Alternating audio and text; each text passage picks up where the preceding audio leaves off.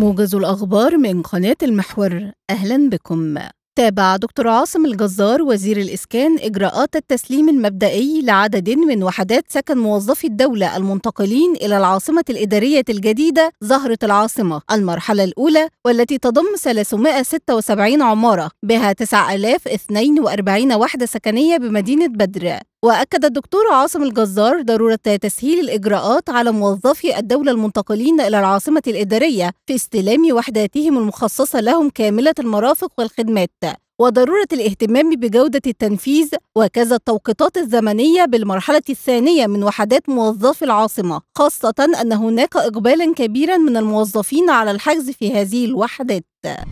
أجرى دكتور رضا حجازي زيارة إلى محافظة سوهاج لمتابعة انتظام سير امتحانات الثانوية العامة. ويؤدي طلاب الثانوية العامة امتحانات مادة الجيولوجيا والعلوم البيئية للشعب العلمية علوم ومادة الرياضيات البحثية التفاضل والتكامل للشعب العلمية رياضة ومادة علم النفس والاجتماع للشعب الأدبية. وتابع الوزير من خلال التواصل مع غرفة العمليات المركزية عبر الفيديو كونفرنس. وصول الأسئلة إلى جميع مقر اللجان الامتحانية على مستوى الجمهورية وتنفيذ كافة التعليمات.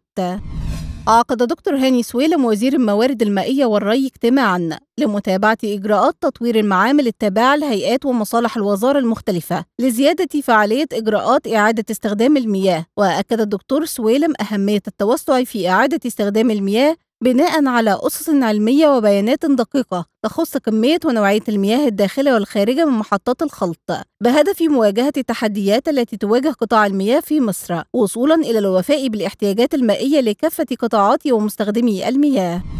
يواجه فريق المصري البورسعيدي نظيره فاركو في الثامنة والنصف مساء على أرضية استاد برج العرب بالأسكندرية ضمن منافسات الجولة الثالثة والثلاثون من الدوري الممتاز. ويحتل النادي المصري المركز الخامس في جدول مسابقة الدوري برصيد 44 نقطة حصدها من 31 مباراة. فيما يحتل فاركو المركز التاسع برصيد 41 نقطة حصدها من 32 مباراة.